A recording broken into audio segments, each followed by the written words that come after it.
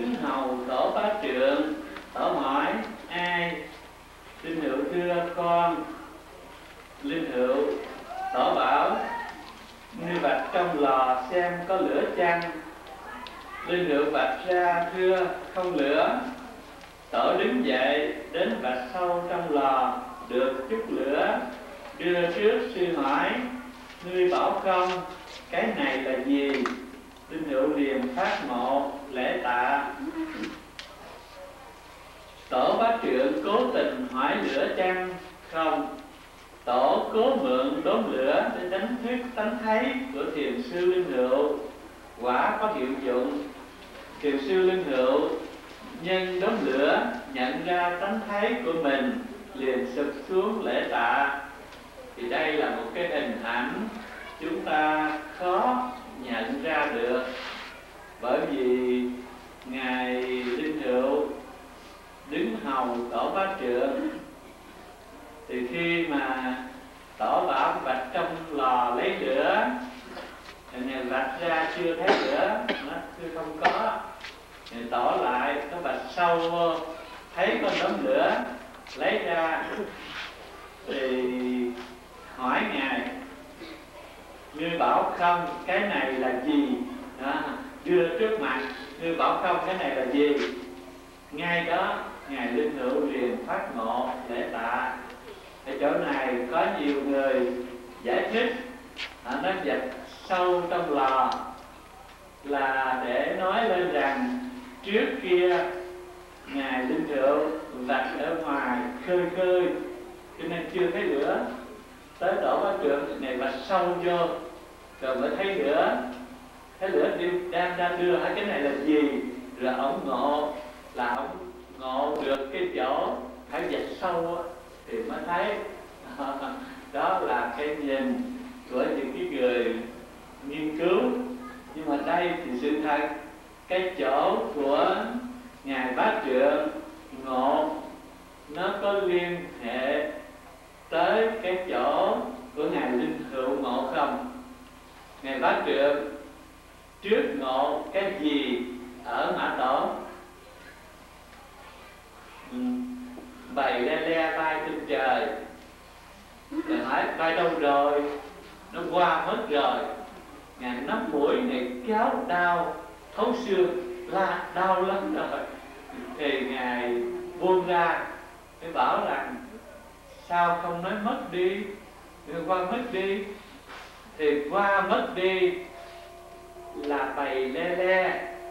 Chứ cái thấy bày le le đó, có qua mất không? Ngay đó thì ngài ngộ. Thì bây giờ muốn cho người đệ tử ngộ, thì cái sở trường của ông thầy chỗ nào là đem dạy ngay cho đệ tử chỗ ấy. Cho nên, với nghề linh rượu thì tổ cũng bảo lấy lửa tìm con ra ngài tìm được, ngài đưa trước mắt nó không có cái này là gì thì rõ ràng là chỉ cái lửa hay là chỉ cái thấy.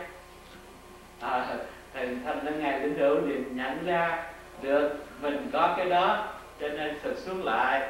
Thì như vậy ở đây là cái hiệu dụng của tổ bá trượng khéo dạy người đồ đệ. Vì vậy cho nên cái lối dạy thầy trò nó có cái tính cách tương quan chứ không phải ngẫu nhiên.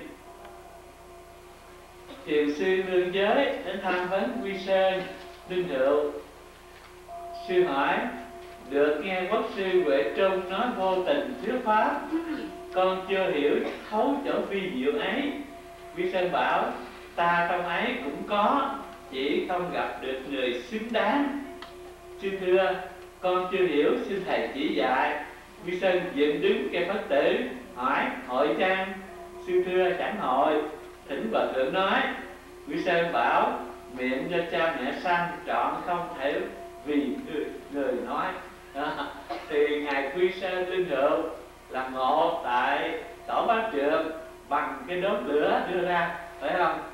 Rồi bây giờ người tới hỏi nó vô tình thuyết pháp thì ngài liền đưa cái phật tử lên thì có giống cái chỗ mình ngộ không? Nghĩa là trước mình thấy thế nào thì sau này chỉ cho người nó tương tự như vậy. Cho nên ngài đưa cái phật tử lên hỏi hội trang sư thưa chẳng hội thỉnh bậc thượng nói. Ngài bảo rằng miệng cho cha mẹ sanh, trọn không thể vì người nói. Nghĩa là dùng cái miệng với cha mẹ sanh thì nói không được. À, như vậy thì rõ ràng là cái ý nghĩa do ngài thấy rồi sao chỉ lại cho người một cái lối nó trùng hợp như vậy. Thiền sư lương giới cố tình tìm hiểu vô tình thuyết pháp. Tổ quy sơn đưa cái phật tử lên hỏi hội chăng? Nếu ngay đây mà hội thì vô tình thuyết pháp cho thiền sư nghe rồi. Vì thiền sư chưa hội cầu xin quy sơn nói. Quy sơn uh, à, quy sơn hứa nói đã thành hữu tình thuyết pháp mất vậy nên như vậy thì hỏi thì vô tình thuyết pháp. Mà bây giờ mình dùng miệng nói thì tức là hữu tình thuyết pháp. Đó. cho nên ngài không nói. Các vị tăng hỏi thiền sư Quang Dũng Văn Thù là thầy của bãi Đức Phật Văn Thù có thầy chăng? Quang Dũng đáp Gặp duyên liền có Ta hỏi thế nào là thầy Văn Thù Sư dựng đứng cho Phật tử lên Tăng thưa, cái ấy có phải sao? Là phải sao? Sư ném cho Phật tử quan tài Thì đây là một cái hình ảnh, Nghĩa là thiền sư Quang Dũng có người tới hỏi, văn thù là thầy của bảy đức phật văn thù có thầy không đó thường thường, ở trong kinh nói rằng bồ tát văn thù là tượng trưng cho cái căn bản trí. Nhưng mà rồi, bồ tát văn thù là thầy của bảy đức phật. Bởi vì tất cả chư phật đều từ cái căn bản trí mà ra, phải không? Cho nên, ngài văn thù là thầy bảy đức phật. Rồi, ông hỏi như vậy ngài văn thù có thầy không? Thì ngài văn dũng đó gặp duyên liền có à, thế nào là thầy văn thù? Ngài đưa cái phật tử lên. À, như vậy cái phật tử có phải thầy của ngài văn thù không? Vậy thì cái gì? À, nghĩa là phải thấy ngược trở lại thì mới thấy cái thầy của văn thù. Chứ còn chỉ thấy cái phật tử ở ngoài là không thấy thầy của ngài văn thù cái bất tử ở ngoài là cái cảnh chứ còn thấy được cái cảnh này không phải là cái bất tử. Như vậy, tất cả những vị đây dùng cái phương tiện khéo chỉ cho chúng ta biết tánh thấy nó sẵn có. Mà tánh thấy đó là thầy của chư Phật và cũng thầy của các vị Bồ Tát luôn. Đó. như vậy thì quý vị có thầy không? Có thầy không? Ở đâu? Như vậy mới biết rằng có thầy mà mình không chịu học, mình không chịu tu. Vị tăng muốn biết thầy của bồ tát văn thù thì sư văn dũng diện cây phất tử lên mà ông không nhận. Nếu khi đưa cái phật tử lên mà ông nhận ra thì đã thấy thầy của văn thù. Rất tiếc, ông tăng lầm qua, nên thiền sư đành ném cái phật tử. Có thiền khách đến thì ờ, đến kiệt phong hỏi trong kinh lăng nghiêm có câu, chư phật người phương chỉ một con đường vào cửa niết bàn. Nguyên chữ hán thật phương bạc và phạm nhất lộ niết bàn môn. Xin hỏi, đầu đường ở chỗ nào? Đó là, chư Phật chỉ có một con đường vào nước bàn. Thì ông ta hỏi, đầu đường ở chỗ nào? Đầu đường vào nước bàn là chỗ nào? Kiều Phong cầm cây gậy, vạch ngang như không, ngang trong như không nói, ở chỗ này. Ông vạch trong như không ở chỗ này. Nếu mà mình thường thì mình thấy vạch ngang chỉ chỗ này, chắc mình nhìn chỗ như không, chỗ đầu ngón tay. Thì cái ông tăng kia, ông không biết. Thiền khách mờ mịt không hiểu sao ông đến văn môn cũng đem câu ấy hỏi. Tức là hỏi rằng chư Phật mười phương, chỉ một con đường vào niết bàn. Như vậy xin hỏi đầu đường ở chỗ nào? Thì ngài văn môn ngài đưa cây quạt lên, cầm cây quạt đưa quạt lên, nói, cây quạt này nhảy phóng lên khung trời, tam thập tam đập vào mũi đế thích. Con cá lý ngư ở biển đông, mưa như cầm chỉnh mà đổ. Thành nói ông thiền sư nói chuyện trên hay trên trời không? Phải không? Ta hỏi đầu đường làm biết bà, mà lại đưa cây quạt lên. Rồi nói một câu, cây quạt nhảy phóc lên cung trời. Tam thập tam, đập vào mũi đến hết.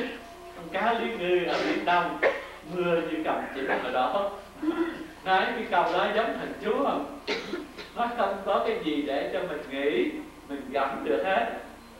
Nhưng mà cái nhanh cái bí mật của ngài chân môn nó quá là là kín đi, cho nên khó thấy hơn cái bí mật mà ở trên ngài kiều thông ngài chỉ. Như vậy mà cũng không có hiểu. Người ta khi ngồi đó mà nghĩ là cây quạt nhảy phóc lên cung trời nghĩ đập lên mũi thích thích như vậy nghĩ như vậy, chừng nào hiểu được câu nói này nên đây tôi giải thích. Thiền sư kiền phong chỉ đầu đường vào cửa nước bàn bằng một vạch trong hư không. Người ta tưởng đầu đường vào cửa nước bàn từ hư không, chẳng ngờ từ tánh thấy. À. thiền sư văn ngôn cũng chỉ đầu đường bằng cây quạt đưa lên. Nếu thiền khách thấy đầu đường ngay khi cây quạt đưa lên, thì câu nói sau của văn môn là câu thành chú nếu lầm qua khi cây quạt đưa lên mò theo câu nói thì suốt đời không tìm ra đầu đường. Thế nên vân môn có làm bài kệ cử bất cố tức sai hổ nghĩ tư đưa hà kiếp ngộ bốn câu chứ không phải hai câu này cử bất cố là một câu tức sai hổ một câu nghĩ tư lương câu hà kiếp ngộ à, như vậy là bốn câu kệ. Thì bốn câu kệ này dịch đưa chẳng đói ác sai lầm, toan nghĩ suy suy kiếp nào ngộ khi đưa lai vậy mà không nhận ra, thì đó là sai lầm. Rồi nghĩ suy câu người ta nói, thì không biết chừng nào mà lãnh hội được. Qua những hình ảnh được nêu ở trên, nếu điều khách khéo, nhân cảnh sắc nhận được tánh thấy của mình gọi là kiếm sắc minh tâm.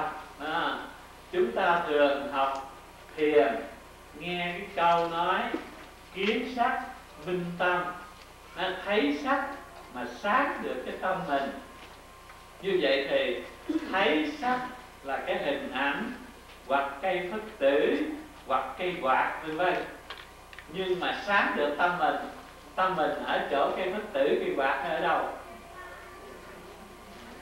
Nó là ở ngay nơi mình, chứ không phải ở bên ngoài.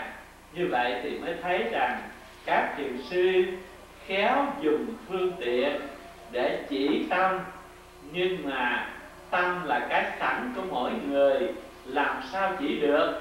Chỉ dùng phương tiện ở bên ngoài để để chúng ta tự nhận, tự thầm quay lại, biết rõ tâm mình. Thì cái đó là kiến sách minh tâm đây chúng ta hãy khéo nghe chư thiền sư sử dụng âm thanh đánh thức tánh nghe một cách tài tình quả là một giọt sữa sư tử làm tan sáu đấu sữa lừa. Ờ, từ đoạn trên đó là nói về tánh thấy. Và đoạn này nói về tánh nghe. Có thiền khách hiểu sư tổ đến nam tuyền hỏi ma ni châu nhân bất thức như lai tàn lý thanh thâu đắc.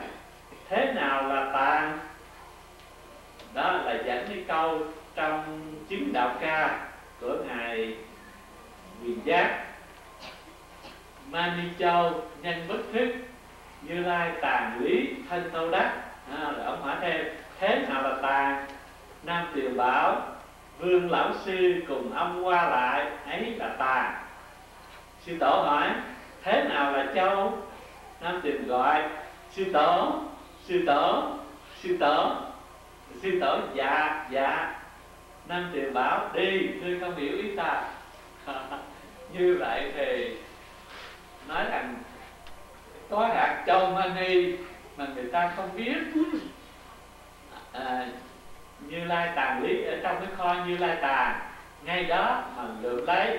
À, thì hỏi thế nào là tà tức là là cái kho thì nam thì bảo rằng vương lão sư cùng ông qua lại. Ấy là tà tức là tôi và ông đang nói chuyện qua lại. Đó là tà hỏi thế nào là châu? À, thì ngàn năm tiền ngài gọi sư tố sư tố hai lần. Ông sư tố dạ dạ hai lần. Như vậy gọi hai lần. Dạ hai lần đó là, là cái gì? Đó là chỉ hạt châu phải không? Bây giờ ở đây tất cả quý vị tôi gọi quý vị có biết dạ không? Như vậy thì có vị nào thiếu châu không? Có thiếu không? Không thiếu thì sao nghèo? Châu sẵn mà chịu nghèo phải không? Rồi cho nên ngài gọi tại hai tiếng dạ hai tiếng. Mà không nhận dạ dạ mà không nhận. Cứ chờ coi nói cái gì thì ngài liền bảo, đi, ngươi không hiểu ý ta. Như vậy thì ông không hiểu gì hết thì đi đi. Chứ nếu mà kêu dạ dạ rồi, cái sụp xuống lại thì được. Phải không? Đó là lượm được hạt châu. Dạ mà rồi không biết nói gì thì đó là mất hạt châu rồi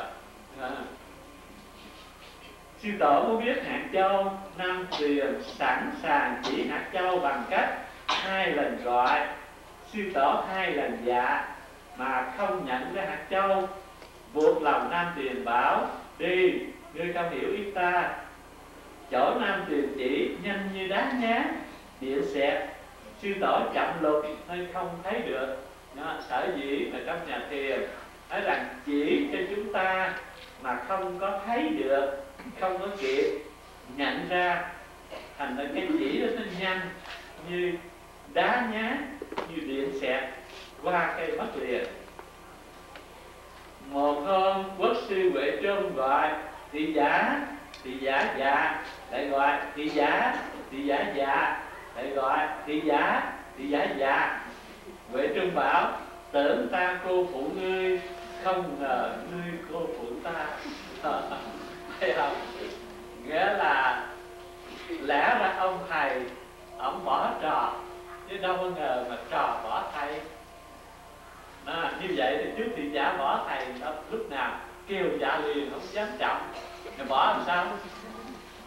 À, thì ông thầy ông không muốn dùng cái tiếng kêu đó để sai việc gì. Mà dùng cái tiếng kêu đó để chỉ một cái mà chỉ nó kêu thì nó dạ. Một lần dạ hai lần dạ ba lần dạ. Mà rồi không thấy được, không thấy chỗ chỉ. Cho nên đó là cô phụ. À. thì giả ba lần dạ mà không thấy chỗ dạy của quốc sư. Nếu khi dạ thì nhận ra tánh nghe của mình. Quốc sư đâu trách, không ngờ ngươi cô phụ ta. Tất cả việc làm của thiền sư đều nhằm người học thấy lại cái chân thật của chính mình. Nếu chúng ta cứ nghe và chờ các ngài chỉ dạy cái gì, qua mất mục tiêu của các ngài, nhắm rồi. Giờ tới người khác. Có thiền khách vào thấy của thiền sư uy tín nhờ giải nghi về việc tăng hỏi triệu châu, thế nào là ý tổ sư từ ấn độ sang? Triệu châu đáp, cây bá trước sân thiền sư uy tín bảo, tôi nói với ông ông tin chăng? Thiền khách đưa lời của hòa thượng là quý trọng con đâu dám chẳng tin vì tịnh nói, ông nghe giọt mưa rơi ở thềm nhà chăng. Thiền khách bỗng nhiên khai ngộ, bất giác la cho. Quy tín hỏi, ông thấy đạo lý gì? Thiền khách nói kệ đáp, thiền đầu thủy đích, phân minh lịch lịch, đã phá càng khôn, đương hạ tâm tích giọt mưa mé thèm rõ ràng từng giọt, đập nát càng khôn, liền đó tâm dứt. Tìm cách khéo nghe hạt mưa rơi, bỗng thấy cây bá trước sân của triệu châu. Cây bá trước sân hay giọt mưa rơi nét thềm nhà, đều rõ ràng chỉ chúng ta thấy ý tổ sư từ ấn độ sang. Nhận ra được chỗ này, càng không biết hoại mọi vọng tưởng tan tành thật còn gì sung sức bằng? Thành ra chỉ cần nói ông nghe giọt mưa ngoài thềm đúng không? Hỏi quý vị thấy nó lạ lùng là hỏi ý tổ sư từ ấn độ sang. Mà ngài trương châu không nói ý tổ sư gì hết mà chỉ cây bá trước sành. à, rồi lại hỏi, ngài, thì ngài cũng không nói gì tổ sư hết. Mà nói là không biết ta nói thì có tin không?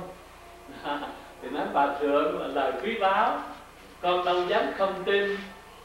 Thì chỉ nói người có nghe giọt mưa rơi mà thèm không? Với điều đó là chỉ ý tổ sư từ ấn độ sang thành được có thể chỉ cái bá mà mình thấy và có chỉ cái hạt mưa mà mình nghe thì cái thấy cái nghe đó đều là cái gì của tổ? Đó là ý tổ sư từ ấn độ sang. Như vậy, tổ sư từ ấn độ sang đem cái gì sang? Đem gì sang? Không có đem gì hết trơn. Nếu có thì có y bác thôi. cho nên rồi sau này truyền tâm ấn không biết lấy cái gì, nên vợ y bác là trao. Cho nên có bằng cứ một chút chứ thực ra cái đó là ai cũng đều sẵn, chứ không phải tổ mang cái gì lạ để ấn độ đến cho mình. À. một hôm tướng quấn bùi hương đến chùa đại an, xem thấy bức họa cao tăng, liền chỉ và hỏi thiền sư hoàng bá hình có thể thấy cao tăng ở đâu? À, chỉ bức họa hình có thể thấy cao tăng ở đâu? Thì ở đây mình có thể mình chỉ uh, cái bức họa tổ đạt ma. Uh, cái bức họa mình có thể thấy mà tổ đạt ma ở đâu? Phải không? Hỏi tổ đạt ma ở đâu thì mình nói sao? Như vậy thì khi hỏi câu đó thì ngài hoàng bá gọi bùi hương. Bùi hương dạ còn bác hỏi, ở đâu? Bùi hưu ngộ được ý chỉ. Như vậy, ông bùi hưu là một vị tướng bất triều nhà đường. Mà ông chỉ hỏi, cái bức họa, cái hình thái còn ngài tổ sư hay là các vị à, thiền tăng xưa ở đâu? Thấy thấy quả mà không thấy người. Hỏi ở đâu? Cứ ngày kêu kêu tên bùi hưu đâu nói dạ hỏi ở đâu? Ở đâu thì cái gì ở đâu? Cái gì kêu biết dạ đó, cái đó ở đâu? Thì ngay đó ông thấy rằng các vị tổ sư chỉ sẵn ở nơi mình chứ đâu hết. À. qua tướng mạo bùi hưu muốn thấy cao tăng hoàng bá chỉ cao tăng qua tiếng dạ của bùi hương nhân tiếng dạ của chính mình bùi hương chẳng những biết cao tăng mà còn nhận ra bổn phận à, bổn mạng của mình từ vô thủy kiếp như người đã nắm được hồng ngọc quý. Để kết thúc hai đoạn trên chúng ta hãy nghe bài kệ của thiền sư nghĩa trung. Tích thử kiến văn phi kiến văn vô dư thanh sắc cả trình quân. Cá trung nhược liễu toàn vô sự thể dụng hà phòng phân bất phân. Dịch chính nơi thấy nghe chẳng thấy nghe còn đâu thinh sắc để trình anh. Trong kia nếu liễu toàn vô sự thể dụng ngại gì phân chẳng phân. À, thì như vậy chúng ta mới thấy ngay cái thấy ngay đến cái nghe mà mình nhận ra thì từ thinh từ sắc mà mình biết được mình. Như vậy, nếu mà mình nhận ra được nó, thì sự tu hành nó đi tới cái chỗ vô sự dễ dàng. Chừng đó không còn phân biệt cái này là thể, cái kia là dụng nữa. Quả thật, chính nơi cái thấy nghe, chúng ta nhận ra tánh thấy nghe. Đã nhận ra tánh thấy nghe thì không mắc kẹt vào thanh sắc nên nói, thấy sắc như mù, nghe tiếng như điếc, như mù chứ chẳng phải mù. Vì hằng thấy mà chẳng vọng tưởng phân biệt hơn thua đẹp xấu. Như điếc mà chẳng phải điếc, vì tiếng nào nghe rõ tiếng ấy, chỉ không phân biệt hay dở phải quấy. Đã thế, đã như thế thì còn thanh sắc nào để tiền sư dạy chúng ta nữa? Nếu ngài nơi thấy nghe mà liễu ngộ được, còn gì phải phân biệt? Đây là thể kia là dụng cho thêm phiền. Bởi vì chúng ta đọc nhiều sách, nhiều luận phân chia thể tướng dụng đủ thứ, phải không? Còn ở đây hết sức là giản đơn. Chỉ ngay nơi cái thấy, ngay nơi cái nghe mà nhận được cái chân thật của mình, thì đó là đã trở về chỗ vô phân biệt hay là chỗ vô sự, thì như vậy cần gì phải phân biệt cho thêm nhiều chuyện. Tóm lại, chúng ta muốn nhận ra tánh giác hay kiến tánh phải từ nơi sáu căn mà nhận. Trong sáu căn, hai phần nổi bật hẳn là